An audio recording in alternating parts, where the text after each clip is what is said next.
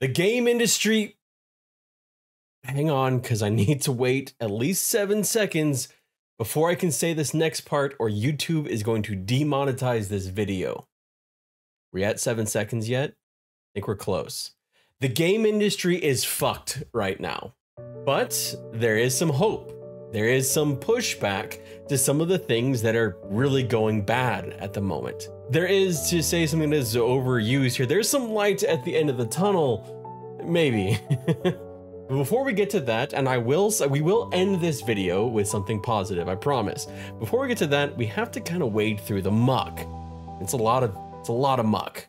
We have seen some really horrifying layoffs, studio closures, and really just a very rough environment to be making video games. And that's before you get AI into it or anything like that. This is just to do with companies, big companies. But there have been few that have kind of highlighted all of the issues quite as well as Embracer Group. Now, Embracer Group, for those who don't know, was a kind of a small unknown company for a while, and then for about three years, they went around buying up everything they possibly could, all the IP rights they could, all of these things that they could, all these gaming studios, gaming studios that a lot of us will will know.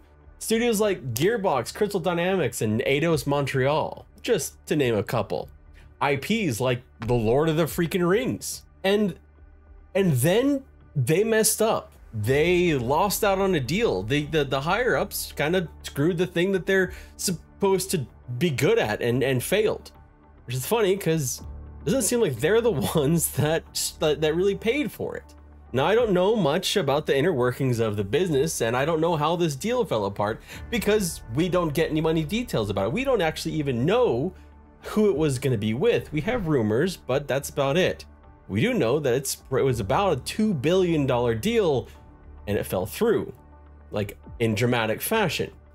And then the COO kind of maybe eventually like like resigned but then went and made his own game company and and then now we come to today where we have almost 1400 layoffs for Embracer across their different studios. Lots of canceled projects, a closed studio, and perhaps more closed studios or studios being sold off, and perhaps even more layoffs.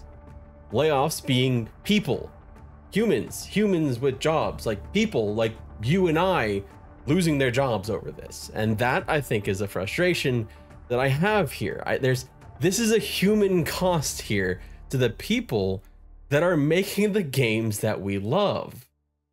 And that's all bad enough, right? That's all difficult enough to just swallow. And then, and then, dear viewers, then we get the lovely, wonderful earnings call that really said the very quiet part out loud for everyone to hear.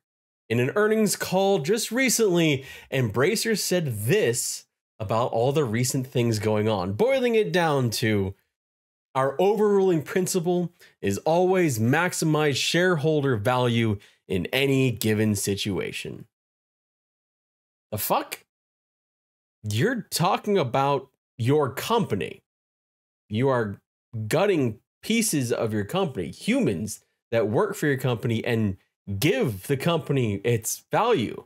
I don't know if you know, but it, it, the Embracer Group itself isn't what a lot of the value is. It is the people making the fucking games that are giving it the value. That is where the value is. The the the talent, the heart, the soul of the gaming industry is the people making the damn games. I tend not to get upset or or angry in these videos. I tend to try and just be positive and and but damn, this is annoying. It is a frustrating thing and I knew it was going to be frustrating. So I considered not even making a video about it because I didn't want to make an angry video. But, you know, think it's necessary again because this whole point of this video is I want to highlight the human cost here. I want to highlight that the that that's, that 1400 is not just a number. There are actual people working on those games across all different across all different parts of, of game development. They they are actual people like you and I. And I think we can do a little bit better by just kind of humanizing the the the losses there a little bit. Something that another gaming company has actually been doing very, very well. A gaming company that has had quite a few stages to actually talk about a little bit, and hasn't shied away from it uh, unless they're being told to wrap it up. At the 27th annual DICE Awards, Larian continued cementing its place as an appreciated gaming company with their acceptance speech for their Game of the Year award. It's a speech that I wanted to share with you, and just in case you hadn't had the opportunity to hear it yet. So here it is. Uh, this is existential to us, as you can tell from all the emotion on David's face. Uh, we're very lucky. We've had a lot of stage time. Uh, others are not so lucky.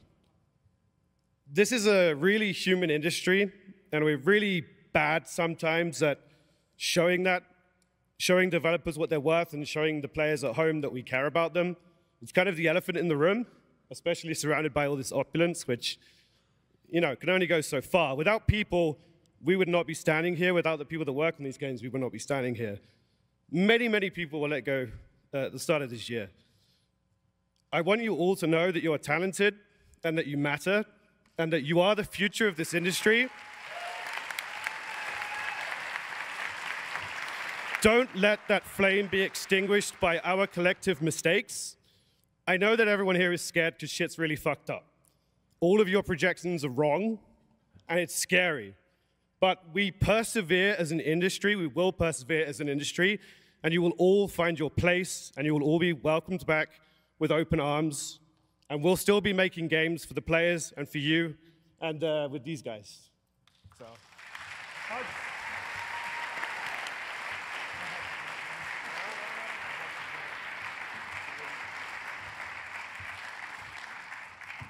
To, to add to that, uh, a lot of people probably want to know what's the secret to your success.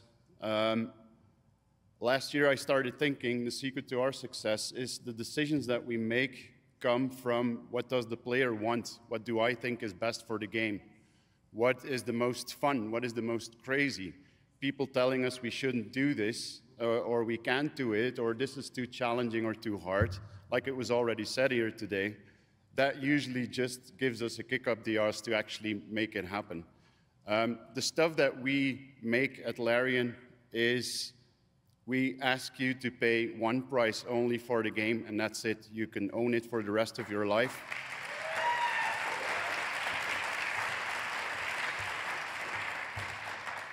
We, we don't have shareholders, but we also don't think about them.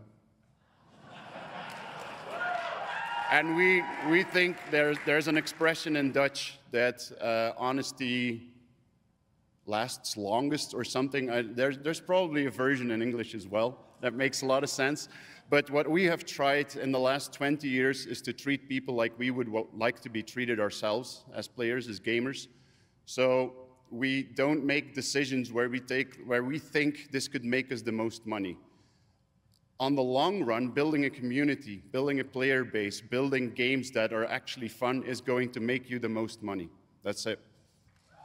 Thank you. See, I told you at the beginning that I would end with something positive, right? And there's more to that.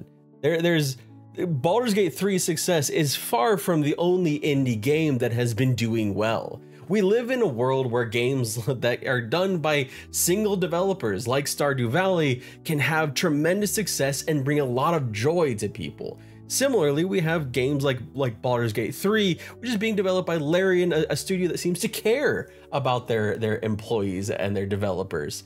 And then you have other games like Sea of Stars did, like and you have small studios or indie studios that are, are creating some new and interesting things, some, some exciting games that are on the horizon, like Fall of Avalon or Nightingale or Palworld or Enshrouded.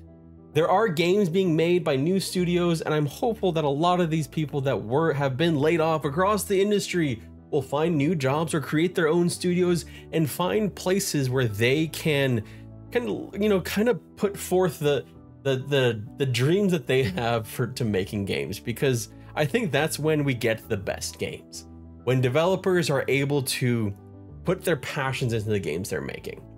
If you're interested in one of those, I just recently reviewed Fall of Avalon right here. It's a game that's been kind of they kind of describe as a, double A game, but I I had a really good time with it. And I feel like they're getting a bit more close to the AAA than than you might think, especially in the graphics department. It's a bit of uh, like Skyrim and Camelot.